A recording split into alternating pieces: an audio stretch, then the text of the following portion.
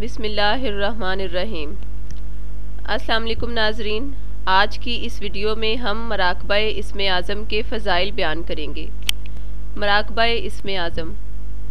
سب سے بڑی طاقت اللہ کی ہے اور اللہ کی غیبی مدد حاصل کرنے کا سب سے بہترین ذریعہ نماز اور اسم اعظم ہے۔ اگر ایک فرد اسم اعظم کے وسیلے سے اللہ کی بارگاہ میں دعا کرتا ہے تو اس کی دعا ہرگز رد ہو ہی نہیں سکتی۔ مگر روزمرہ زندگی میں اکثر دیکھا گیا ہے کہ لوگ اسم اعظم کا ذکر کثرت سے کرتے ہیں، وظائف کثرت سے پڑھتے ہیں اور تلاوت بھی کثرت سے کرتے ہیں۔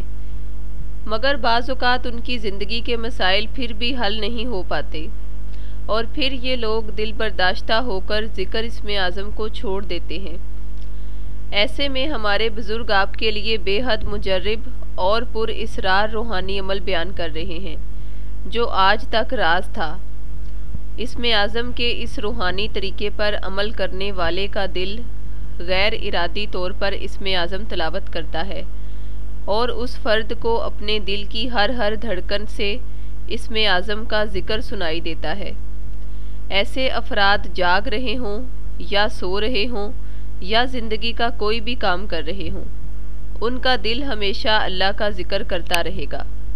اور ان افراد کو ذکر اس طرح سنائی دے گا جیسے کوئی دوسرا انسان ان سے واضح باتیں کر رہا ہو۔ انسان کا قلب اللہ کے ذکر سے جاری ہونے کے بعد بہت سی فضیلتیں حاصل کر لیتا ہے۔ یعنی اس فرد پر جادو کبھی ہو ہی نہیں سکتا۔ اللہ تعالیٰ کی ذات اس پر روزی رزق کے غیبی دروازے کھول دیتی ہے۔ گھر سے فسادات اور بیماریاں دور ہو جاتی ہیں۔ بہن بھائیوں کی شادی کے مسائل اللہ کی رحمت سے فوری حل ہو جاتے ہیں۔ میاں بیوی کی نا اتفاقیاں محبت میں تبدیل ہو جاتی ہیں۔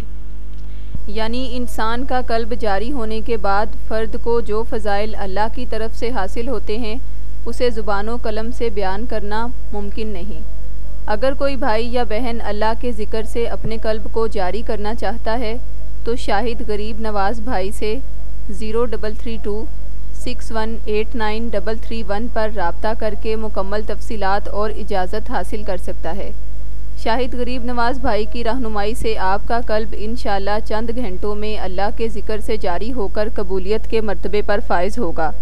دعا ہے کہ اللہ تبارک و تعالیٰ کی ذات حضور نبی کریم صلی اللہ علیہ وآلہ وسلم کے صدقے میں تمام مومنین کے دلوں کو اپنے ذکر کے نور سے منور فرمائے۔ آمین سم آمین۔